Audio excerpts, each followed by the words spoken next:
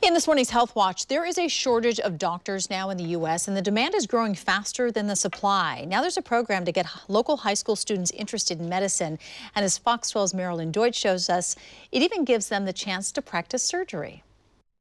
The face of learning, Marie Baba, a sophomore at Cascade High School in Turner, may not have earned her driver's license yet, but she's here at Providence's Surgical Simulation Institute learning how to perform a colonoscopy. Why am I going backward? Providence runs an outreach program for local high school students. And we're really hoping to create, you know, a pipeline to healthcare. These students are getting hands-on experience, a chance to practice minimally invasive surgery. This is a lot harder than it looks. Hard, but exciting. Marie's wanted to be a doctor since she was a kid and her grandmother had knee replacement. And I've always been like her, like doctor.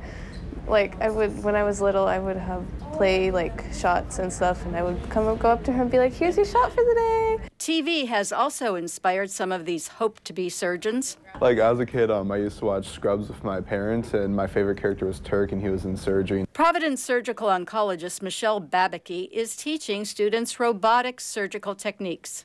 These are pointy instruments, so you want to make sure you see the instruments come in very carefully. Dr. Babicki says this kind of early exposure to minimally invasive surgery is something she would have liked to have had. They're getting experience with laparoscopic instruments um, and what it's like to operate almost like a video game um, by looking at a camera.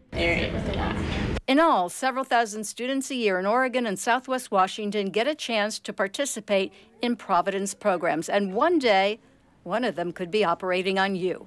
Marilyn Deutsch, Good Day, Oregon. That is a pretty neat program. If you'd like more information on Providence's school outreach program, go to our webpage, kptv.com, and click on the Providence page.